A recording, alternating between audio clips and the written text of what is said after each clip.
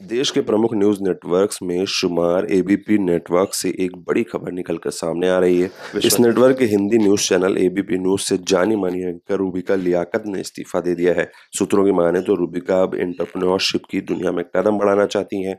इसलिए उन्होंने यहाँ से अलविदा कह दिया है। वहीं अंदर खाने में ये भी चर्चा है कि लंबे समय से सैलरी न बढ़ने और बाकी तमाम कारणों से रूबिका ने फैसला लिया है। खबर ये भी है कि रूबिका लियाकत पिछले साल लॉन्च हुए नए हिंदी न्यूज़ चैनल से अपनी नई पारी शुरू कर सकती हैं। हालाँकि ये चैनल फ़िलहाल बेहतर प्रदर्शन नहीं कर रहा है।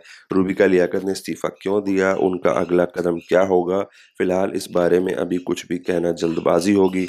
आपको बता दें कि रूबिका लियाकत की गिनती टीवी पत्रकारिता की दुनिया में तेज तरार महिला एंकरों के रूप में होती है। वो साल 2018 से एबीपी न्यूज़ के साथ जुड़ी हुई हैं। रूबिका की हिंदी, उर्दू और अंग्रेज़ी पर मज़बूत पकड़ है और अपने इस हुनर का वो शब्दों के चयन में पूरा इस्तेमाल करती हैं। मूल रूप से उदयपुर की रहने वाली रूबिका मुंबई यूनिवर्सिटी से ग्रेजुएट है।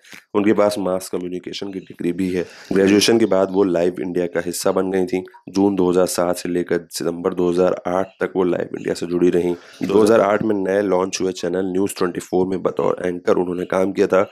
उसके बाद उन्होंने जी न्यूज़ के साथ रिपोर्टिंग और एंकरिंग की, पारी की शुरुआत की। खबरों की समझ, भाषा, कौशल और लगभग हर क्षेत्र पर पकड़ के चलते जल्द ही उन्होंने जी न्यूज़ में अपनी एक अलग पहचान स्थापित की। इसके बाद वो एबीपी न्यूज़ में आ गई और अब यहाँ से उनके इस्तीफे की खबर सामने आ रही है।